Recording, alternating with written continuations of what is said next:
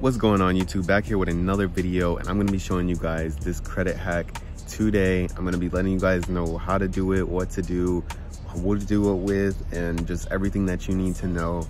This can either boost your score up by more than 100 points if that person has really good credit and you're depending on where your credit is at and it can just bring you in a lot of extra cash a lot of extra cash flow and um, just more credit lines to come. So i'm going to explain everything in this video. For on the go join crypto nfts chat below for mini giveaways and daily updates.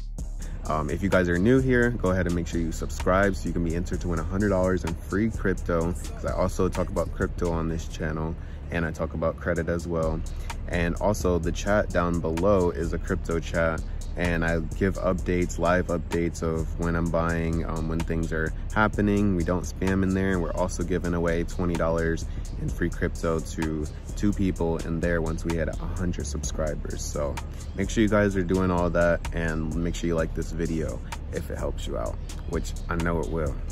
So getting into today's video, the thing that I want to talk to you guys about today, the credit hack is authorized users, okay? So authorized user, okay. So you have a credit card, you're the main primary holder, okay? Okay, the primary holder has all the account information. They're the ones that applied for the for the credit card in the first place, okay? So the authorized user is someone that the primary account holder can add to the card and it also makes them responsible for that account as well, just as responsible as the primary account holder.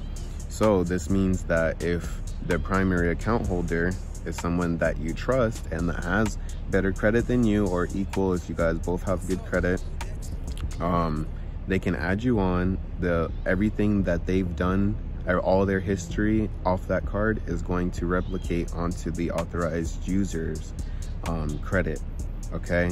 And i feel like a lot of um, companies have been getting on this lately so it doesn't it may not affect it as much as it used to but when i started doing this back in 2018 i believe it was like around the summer of 2018 when i started um, combining me and my wife's things together and adding each other on as authorized users, the amount of credit just starts expanding. So your revolving credit um, is, is going to be lower. So the amount that you're using, the percentage that you're using is going to lo be lowered. And the more you lower the amount of credit that you're using versus the amount that you have is going to um, increase your score. So that's that's essentially what it ended up doing because you're using less credit, which can allow you to apply for even more and you can expand even even larger okay now it depends on how your income is because if you know if you don't have someone else that you can add to your income when you apply for the cards then you know then they're only going to give you what they believe that you can afford. But if you can combine incomes with someone, say your significant other, um, which you can do, then because you ha should have you have access to that, you can add it as your income as well.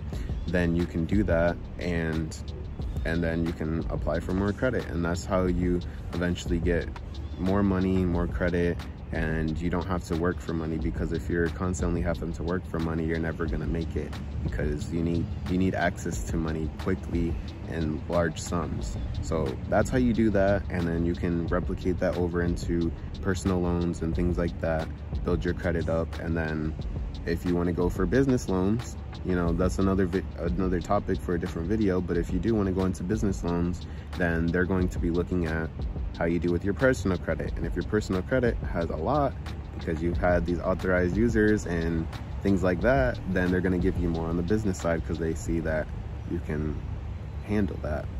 So i hope this helped you guys. I'll catch you guys in the next video. Make sure you like the video and join the chat. Subscribe if you're new here. And i'll catch you guys in the next one